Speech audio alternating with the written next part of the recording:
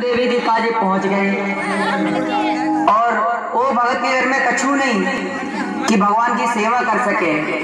और प्रभु से कहने लगो, प्रभु, हम तो आप प्रेम की चाय पिला सकते हैं। अब वो भगत के घर में कछू नहीं। अब इते और कैसा सामान इकट्ठो करके भगवान ने चाय पिला रहा हो। तो आओ, हम भी होगी प्रेम भरी चाय। देखे कि कैसे वाने भगवान ने प्रेम भरी चाय पिलाई। तो भोलेनाथ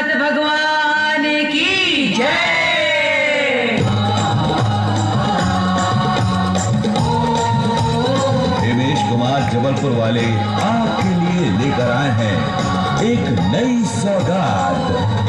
मोरे भोला गए चाय बनन डोरे